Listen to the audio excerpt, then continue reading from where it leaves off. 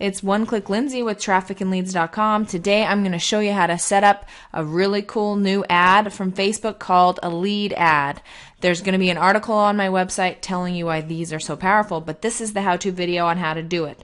So, first things first, it's only available in Power Editor. So, get into Power Editor, download to Power Editor, and then get ready to get to work. First thing, hit create campaign. We'll go ahead and create a new campaign called test lead ad where my objectives is lead generation. This is really cool. So go ahead and select that.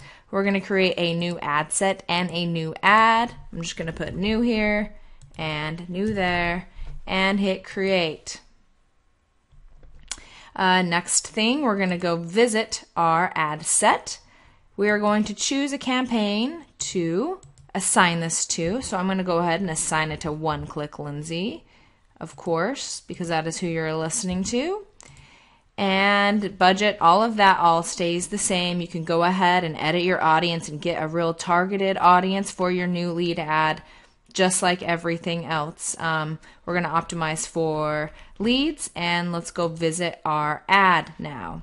So, ads are very similar um, to what you are used to if you've ever run a Facebook ad before, except for you have this new lead form process. I have a couple saved in there, but for this process, we're going to hit create new form. So this is essentially where your uh, with the name of your form. So we're just going to put test form.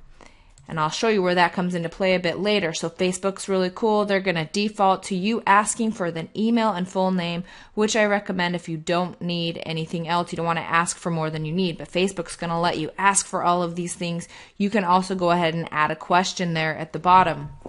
Um, I'm running an ad for a real, uh, for an insurance agent right now. We're asking for phone number. People are we're, we're getting that phone number and it's working really well, but I wouldn't recommend that unless you really need it. Down here, add a question if you really want them to go to your website. Remember, this all happens within Facebook. You can add a question that basically says, I understand that I need to go to the website after this form. Like if you really want people, like if you want to give them a message, the best way to do that right now is through the add a question box. Right now, I'm going to leave it for email and full name. You do need a privacy policy, so put that in there. I'm going to put one click lindsey.com. You can put your legal disclaimers in next. Um, add a link to your website. This shows up on the form for them to kind of go visit your site. Although, again, this all happens within Facebook, so chances aren't great they're going to make it out to your site because people like to stay in Facebook. Uh, next, preview your form. Facebook's going to allow you to see your form. Remember, we collected email, full name, and submit and create form. It's as simple as that, folks. You're going to upload changes to Power or to the Ad Manager. So uploading, then it's going to show up in Ad Manager. I'm going to hit refresh here so we can see it.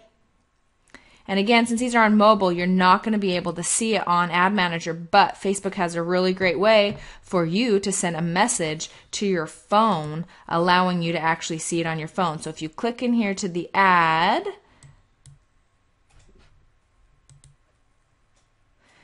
Click into the ad, then up here you'll see a preview. Then you can see it kind of what it's going to look like on a mobile phone. But if you hit this little thing, you'll get it says view on mobile. It will actually send a notification to your mobile phone. If you hang tight, I will show you what that looks like on my phone for this ad. Finally, big question is how do I get my leads? Yes, you can integrate it with a lot of the popular email systems um, like Aweber and MailChimp, but that is not as seamless as it probably will be. So for right now, you're going to go to Tools. Oh, wait, sorry. You're going to go to your page. One click Lindsey. The page you assigned this form to, you're going to hit Publishing Tools.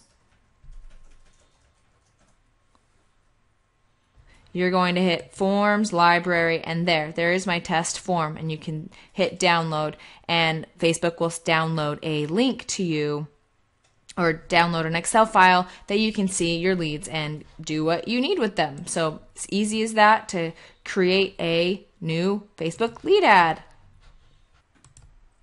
Now, if I pull up my phone, I will see Facebook has given me a notification, which I click on, and voila, there's my ad with my sign up button and my awesome form that already has my information pre populated.